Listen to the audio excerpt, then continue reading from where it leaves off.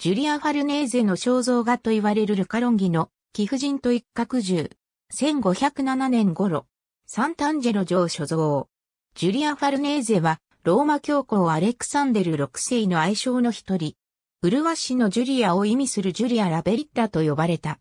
ロレンツォ・プッチは彼女を最上の目の保養と呼び、アレクサンデル6世の息子、チェーザレ・ボルジアは彼女について、暗い色をした。その黒い瞳は丸みを帯びた顔に独特の情熱を与えていると述べている。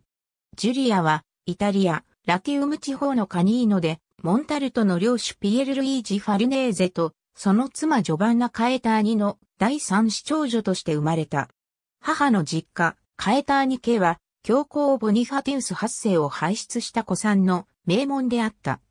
ジュリアには4人の兄弟姉妹がおり、長兄のアレッサンドロは交渉人だったが、後に教会に入って聖職者の道を歩んだ。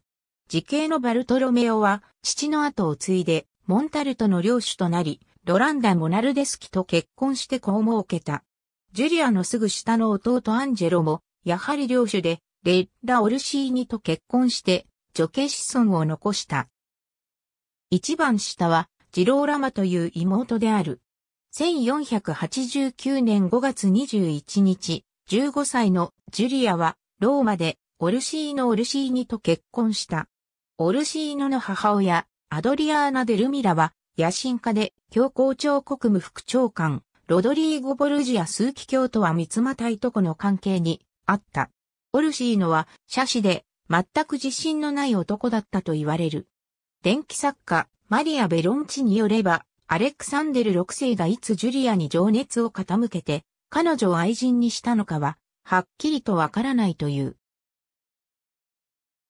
はっきりわかることは、アレクサンデルの桃園である姑、アドリアーナが、息子がバチカンにおいて高い地位を獲得できる後期と、見て、嫁、ジュリアの不倫に、最終的に賛成していたということである。1493年11月までに、ジュリアはバチカンに隣接して建てられた新築の宮殿にアドリアーナ及び教皇の娘、ルクレツやボルジアと共に移住していた。この宮殿は教皇が身近な女性たちのもとを頻繁に訪れられるように建てられたものである。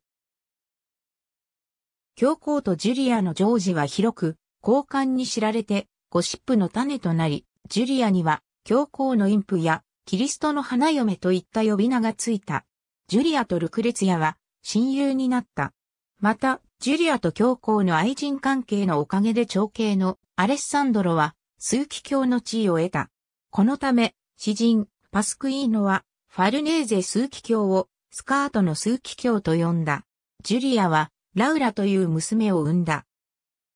ラウラの父親が、オルシーノとアレクサンデル6世のどちらなのかは、判然としない。マリア・ベロンチはジュリアが夫オルシーノと夫婦関係を保っていたという証拠の存在を信じている。事実がどうであれジュリアは生まれた娘の父親を教皇であると主張したが、これは将来娘の結婚をより有利なものにするためだったかもしれない。1494年、ジュリアは死の床についていた弟、アンジェロをカポディモンテに見舞った時、教皇の怒りを買った。彼女は夫オルシーノの命令により、弟の死後もローマから遠ざけられた。しかしオルシーノは最終的にはジュリアを呼び戻したい教皇による圧力に屈し、ジュリアは愛人の元に戻ることになった。この時、フランス王シャルル発生によるイタリア侵攻が始まっており、旅の途中でジュリアはフランス軍の隊長イブ・ダレールに捕らえられた。ダレールは教皇に対し、身代金3000スクードを支払えば、ジュリアを無事にローマまで送り届けるという要求を突きつけた。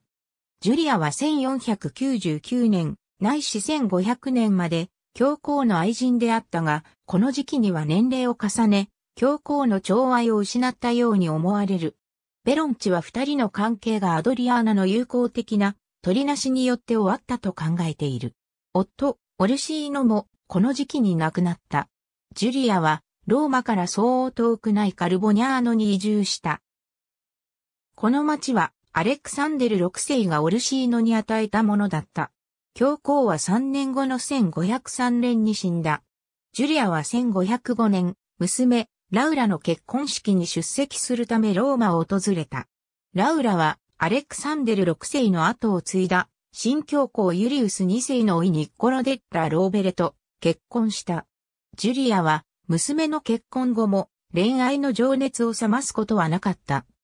名前の知られていない何人かの恋人を持ち、家父となった翌年の1501年には、ナポリの下級貴族、ジョバンニ・カペケ・ディボ・オッツートと再婚した。1506年、ジュリアはカルボニアーノの支配者となった。ジュリアは町の城塞に住まい、後には町の城門に彼女の名前が刻まれた。町の年代記は、ジュリアが断固とした態度をとる、精力的な統治者で、有能な行政手腕の持ち主だったと述べている。ジュリアは1522年までカルボニャーノにいたが、その後ローマに帰った。ジュリアは1524年、兄アレッサンドロスキ教の邸宅で亡くなった。50歳だった。死因は、はっきりしない。その10年後の1534年、アレッサンドロは、パウルス3世として、ローマ教皇の座を勝ち取った。ラウラとニッコロは3人の子を設け、オルシーニ家の財産を相続した。ありがとうございます。